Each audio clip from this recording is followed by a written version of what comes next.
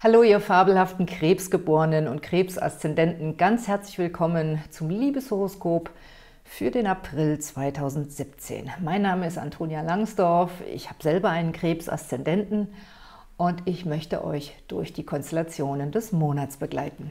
Ja, ihr lieben Krebse, es wird ein gefühlvoller Monat für euch, aber auch mit vielen wechselhaften Gefühlen. Es wird sicherlich einiges auf und ab geben. Aber die Liebesplaneten stehen die meiste Zeit günstig zur Krebssonne.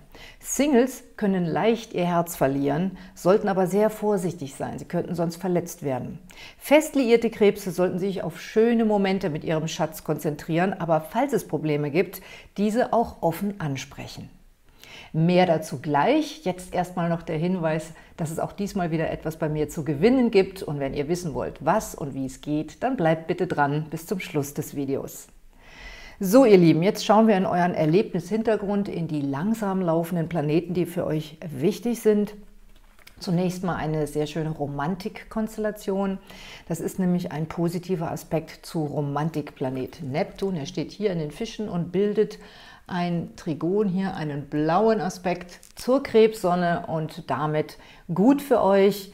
Das inspiriert euch sehr, weil es auch im neunten Haus der Inspiration und der Pläne steht. Ihr seid bestimmt sehr fantasievoll und es fällt euch leicht, euch, äh, wenn ihr verliebt seid, eine rosige Zukunft auszumalen. Es fällt euch vielleicht auch leicht, euch überhaupt auszumalen, dass ihr verliebt seid, auch wenn es vielleicht noch in Wahrheit gar nicht der Fall ist. Das kann auch passieren, aber es ist jedenfalls eine beschwingte romantische Energie und man glaubt an die Liebe und ist bereit, sein Herz zu öffnen. Diejenigen Krebse, die das haben, haben sehr gute Chancen, sich auch langfristig zu verlieben und diesen schönen Aspekt bekommen zur Zeit die Geburtstagskinder, die zwischen dem 2. und 7. Juli Geburtstag haben.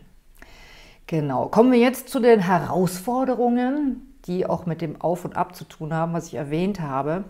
Ähm, ihr habt ja schon seit längerer Zeit hier den Wandlungs- und Transformationsplaneten Pluto im Partnerhaus stehen. Viele Krebse haben Beziehungen, durch die sie sich stark verändern oder auch Beziehungen, die sich insgesamt verändern. Sie wandeln sich.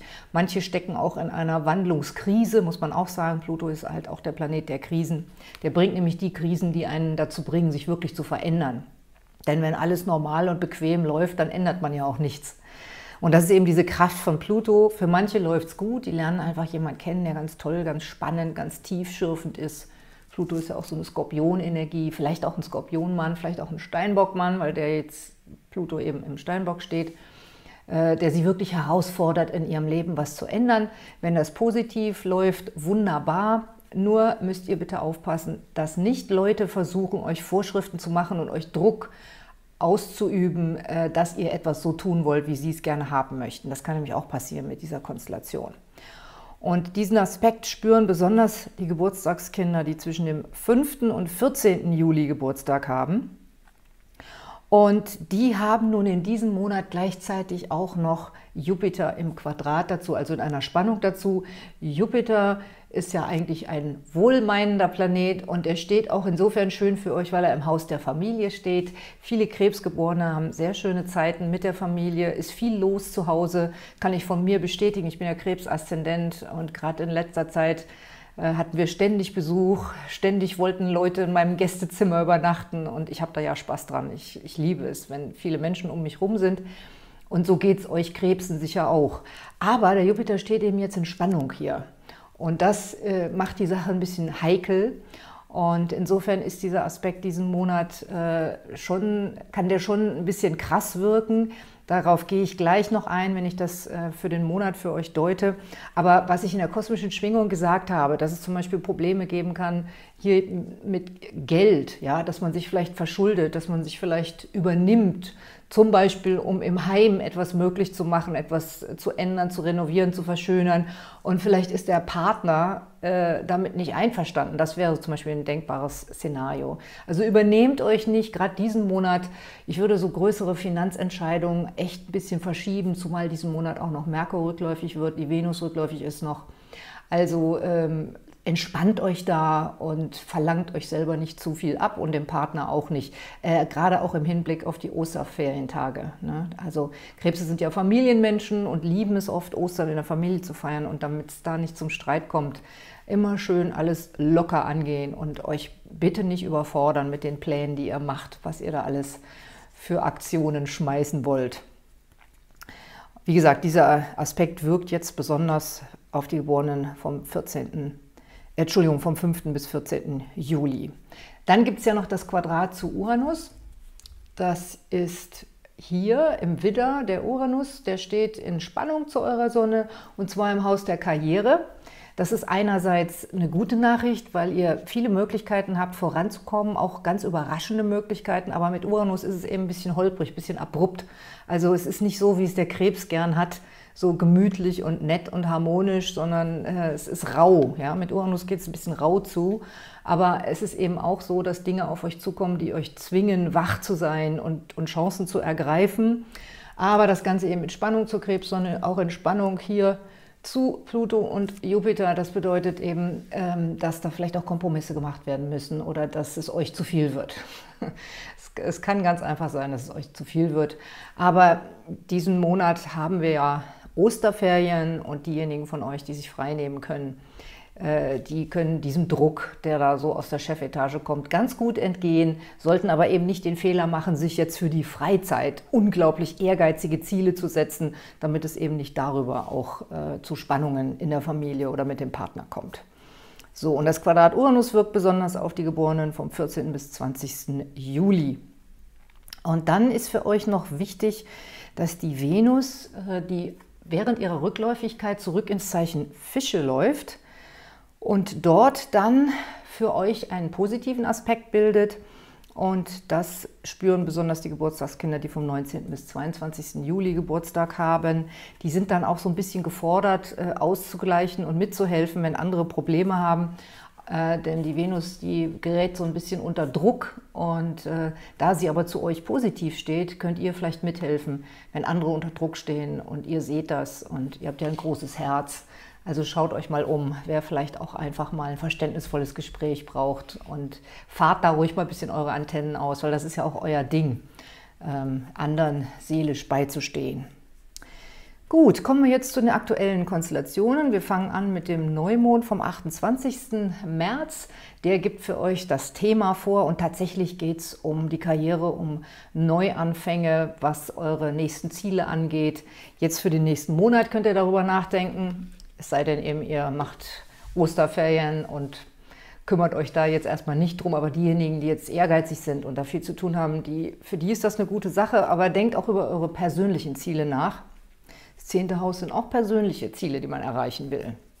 Aber wie gesagt, nicht zu ehrgeizig. Die Ziele müssen so sein, dass sie Luft lassen, dass sie anderen auch Freiraum lassen, dass sie euch selber auch Freiraum lassen, weil sonst zwängt ihr euch da in was ein und dann ist äh, Streit und Spannung programmiert.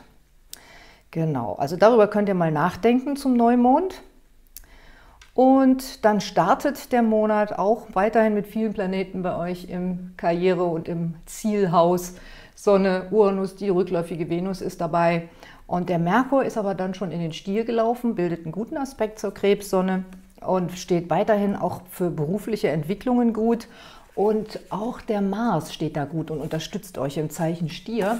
Sieht man hier, elftes Haus, gehört auch noch so zur Öffentlichkeit, also für diejenigen, die ehrgeizig sind. Und es ist auch der Bereich Freundschaft. Ähm, und da wird es jetzt für euch ganz prickelnd und ganz wichtig.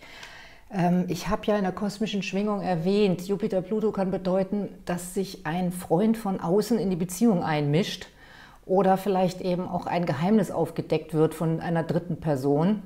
Und da steht ihr jetzt so ein bisschen dazwischen. Wie kann das für euch werden? Also ihr habt ja hier den Mars im Haus der Freunde und der steht jetzt, der bildet also Anfang des Monats einen starken Aspekt hier zu Pluto bei euch im Partnerhaus. Das ist eigentlich eine sehr gute Konfiguration, denn das bedeutet, Freundschaften und die Partnerschaft gehen Hand in Hand. Aber jetzt haben wir ja hier dieses Quadrat eben zu Jupiter. Und das, der steht im Haus der Familie. Also da ist irgendwo eine Spannung drin. Vielleicht tut sich auch der Partner mit einem gemeinsamen Freund zusammen und ihr steht plötzlich im Abseits. Ja, also das ist nicht so eine ganz einfache Konstellation, aber man kann auf jeden Fall was daraus lernen. Das sieht man hier dran, dass das hier blau, rot und grün ist. Das bedeutet immer, die Erfahrungen, die ihr jetzt macht, da könnt ihr was daraus lernen, da könnt ihr was mitnehmen über euch selbst, über eure Beziehung oder über euren Partner. Aber ähm, achtet eben darauf, dass nicht vielleicht Freunde auch zu aggressiv vorgehen. Ja? Mit Mars hier im Freundschaftshaus kann es eben auch sein, dass jemand es gut mit euch meint und euch gleich überfährt mit einer Idee, die ihr hat oder, oder Ratschlägen für die Beziehung. Ihr kennt doch den Spruch, Ratschläge sind auch Schläge. Also ne, müsst ihr diesen Monat aufpassen. Als Krebse lässt man sich auch gerne leicht beeindrucken von dem, was jemand sagt, besonders wenn er sagt, ich meine es doch nur gut mit dir. Achtet darauf, dass eben sich nicht ein Freund mit eurem Partner zusammentut und das vielleicht gegen euch geht. Ne? Also da müsst ihr, glaube ich, ganz eng mit dem Partner, mit dem festen Partner auf Tuchfühlung bleiben, dass da nicht eben Dritte reingrätschen können in eure Beziehung. Wenn ihr aber jetzt dahingehend keine Probleme habt und unbelastet seid, ist das natürlich ein guter Aspekt, auch um erfolgreiche Begegnungen zu haben, um vielleicht auch sogar geschäftlich äh, was Gutes einzufädeln mit einem wichtigen Geschäftspartner oder so. Dafür kann der Aspekt halt sehr gut sein. Dann könnte das Quadrat bedeuten, dass es wieder zur Lasten eurer Familienzeit geht. Also irgendwo ist immer was in diesem Monat, ja, irgendwo ist immer eine Spannung drin. Dem entgehen wir diesmal nicht und deswegen müssen wir wach bleiben und auch gelassen bleiben und wie ich in der kosmischen Schwingung schon gesagt habe, auch mit einer gewissen Reife daran gehen. Genau. Auf jeden Fall kann es eben auch bedeuten, dass einflussreiche Freunde euch den Rücken stärken. Und dieses, dieser Aspekt mit Mars, der dauert insgesamt bis zum 21. und bis zum 8. April betrifft er die zweite Dekade und bis zum 21. April dann die dritte Dekade. Am 3. selber ist aber auch gleich ein Top-Tag für euch, denn ihr habt eben eine sehr romantische Ausstrahlung, hier der Mond in eurem Zeichen und der zieht praktisch die Energie hier vom Neptun zu euch hin nochmal. Also wer romantisch unterwegs ist, äh, sollte sich vielleicht an dem Tag mit seinem Liebsten treffen und denjenigen um den Finger wickeln. Ein schöner Top-Tag ist auch für euch am 7. Da äh, habt ihr, da findet ihr die richtigen Worte, um jemanden mitten ins Herz zu treffen. Und vielleicht auch dadurch zu erreichen, dass sich jemand in euch verliebt, denn hier haben wir den Mondknoten, der Seelenpartner und hier haben wir die Begegnung über gemeinsame Gespräche. Es kann sogar jemand sein, der direkt in der Nähe wohnt, drittes Haus und echt immer so Nachbarn und Leute, die man, denen man einfach so über den Weg läuft. Also haltet da mal die Augen offen. Ist ein Top-Tag für euch, obwohl wir dann langsam in die kritische Phase reingehen, ab dem 7., wenn das eben hier losgeht, dass die Sonne hier oben im Widder dieses Dreieck hier vervollständigt und damit diese Spannung einfach weiter steigen lässt. Und die Spannung spielt sich bei euch ab zwischen eurem Karriere und euren Zielbestrebungen, eurer Familie und dem Partner oder eben auch dem Flirtpartner. Ne? Da müsst ihr gucken, deswegen habe ich gesagt auf und ab, weil es sicherlich Situationen geben wird, wo ihr sagt, Hä, was mache ich jetzt? Jetzt habe ich die, hier eine Anforderung, da eine Anforderung, da eine Anforderung, äh, um wen kümmere ich mich, ne? wie gehe ich jetzt damit um? Und die Krebse sind dann schon, die werden dann schon gerne ein bisschen nervös, weil sie das eigentlich nicht mögen, wenn von allen Seiten an ihnen gezerrt wird. Das, äh, die haben eben lieber eine Harmonie und die haben die Sachen eigentlich auch gerne Kontro unter Kontrolle. Und ähm, was soll ich sagen? Die Familie wird euch wahrscheinlich unterstützen, einfach weil hier der Jupiter steht. Ne? Und mit dem Partner müsst ihr einfach reden, müsst ihr ins Gespräch kommen. Ich habe ja im Jahreshoroskop schon gesagt, dass die Psychologie eure Psychologie dieses Jahr ein bisschen so ist, dass ihr auch dazu neigt zu schmollen und zu erwarten, dass der Partner weiß, was mit euch los ist. Und das ist aber eben nicht der Fall. Also wenn ihr was auf dem Herzen habt, dann sprecht es bitte, bitte an.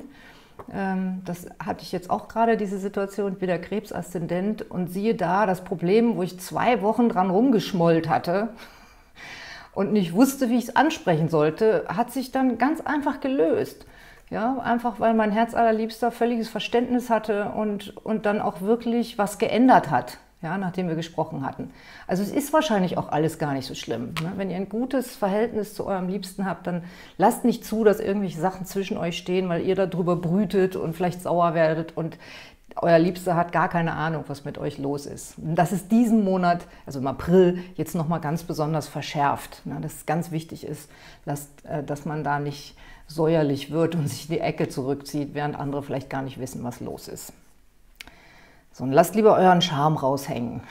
Ihr seid doch sehr charmant und dabei unterstützt euch die Venus auch. Am 10. wird ja dann auch noch der Merkur rückläufig, hier oben im Stier. Das kann dann also auch nochmal zu Missverständnissen führen.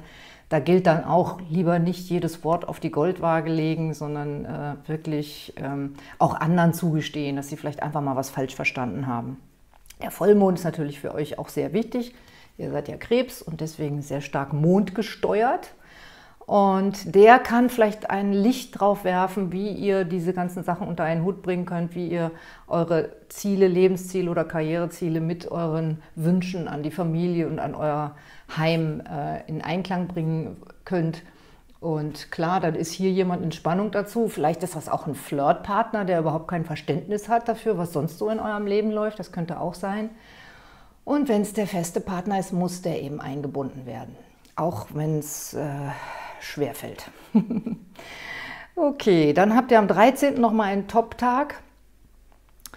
Äh, da würde ich sagen, nehmt euch Zeit zum Kuscheln, denn da aktiviert der Mond euer, äh, den Bereich in eurem Horoskop, wo es um Liebe und Sexualität geht und wo man dann einfach mal sich ein bisschen Zeit zu zweit nehmen sollte, wenn es denn geht. Das ist ein Donnerstag.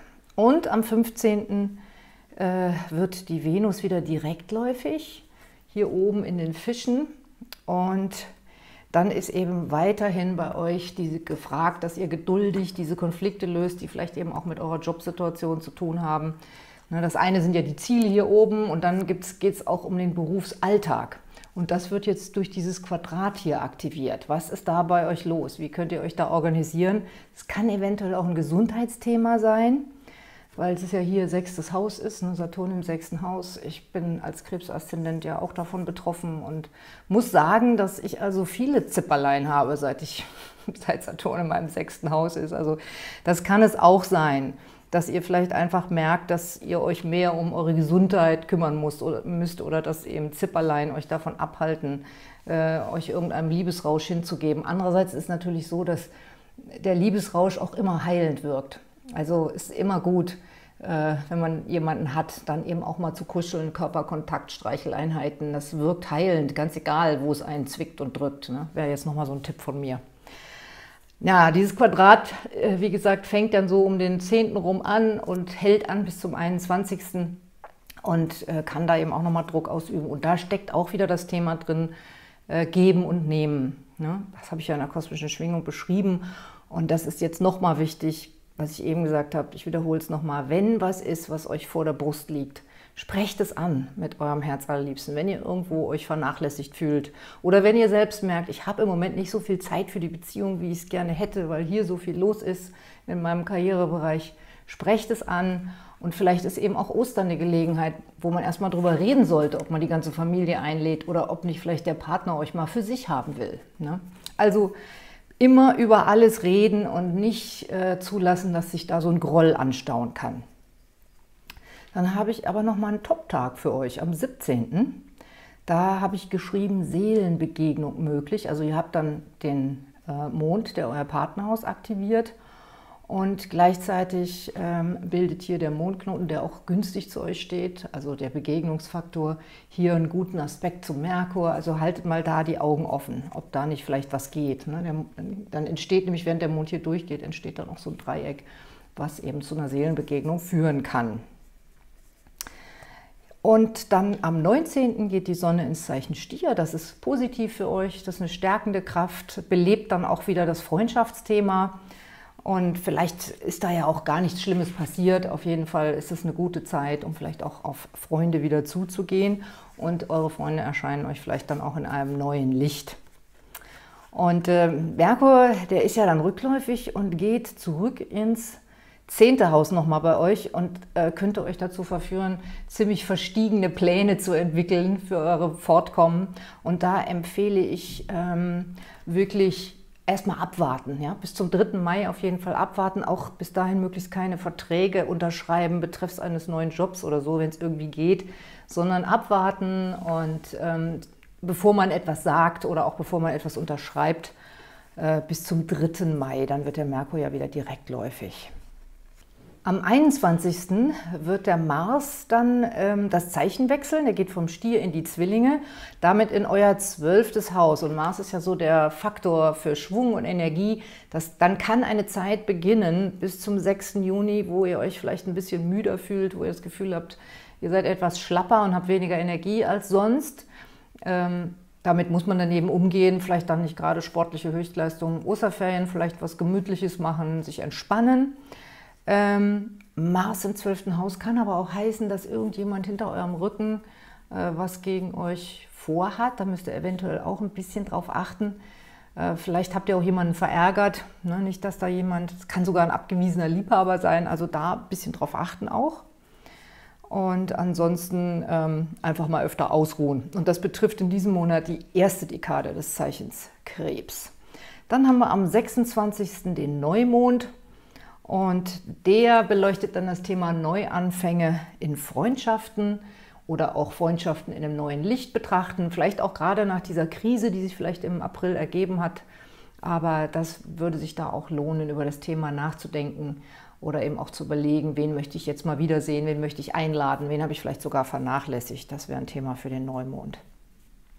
Genau, und dann am 28 geht die Venus wieder zurück ins Zeichen Widder oder geht dann wieder vorwärts und das ist bei euch dann wieder im Karrierehaus. Da habt ihr also eine gute Ausstrahlung und könnt vielleicht beruflich äh, eine schöne Präsentation euch überlegen in den kommenden Wochen. Das ist auf jeden Fall gut fürs berufliche Fortkommen. Aber denkt dran, solange der Merkur noch rückläufig ist, besonders in diesen Tagen auch genau äh, hier zusammen mit dem Uranus, da können also allzu ausgefallene Ideen in der Karriere missverstanden werden. Zum Tanz in den Mai geht der Mond dann in den Krebs, also bringt dann für euch nochmal eine schöne Ausstrahlung. Und deswegen solltet ihr ruhig losziehen. Wenn ihr von jemandem erwartet, dass er euch einen Maibaum aufstellt, dann lasst denjenigen das irgendwie durch die Blume wissen. Denn ähm, wenn ihr jetzt zu hohe Erwartungen stellt, könnten die vielleicht enttäuscht werden. Aber ansonsten denke ich, dass es ein schöner Abend für euch wird. Ja, meine Lieben, soweit die Konstellationen im April für euch. Ähm, am 24. März habe ich übrigens nochmal das Webinar Antonias Sterne. Falls ihr also eine Frage zu eurem Horoskop habt, könnt ihr da mal mitmachen. Ich habe hier so eine Infokarte hinter diesem kleinen i, versteckt die sich, äh, die zu meiner Webseite verweist, wo ihr alle Infos darüber finden könnt. Ja, und dann jetzt zur Verlosung. Diesmal könnt ihr ein schriftliches Partnervergleichshoroskop gewinnen bei mir. Das kriegt ihr dann als PDF und wenn ihr das gewinnen wollt, dann müsst ihr meinen Kanal abonnieren und mir einen netten Kommentar posten. Dann seid ihr dabei. Eine Beratung, eine persönliche, könnt ihr natürlich auch bei mir buchen. Alle Infos dazu gibt es auf meiner Webseite. Und jetzt verabschiede ich mich von euch und wünsche euch alles Gute mit den Sternen.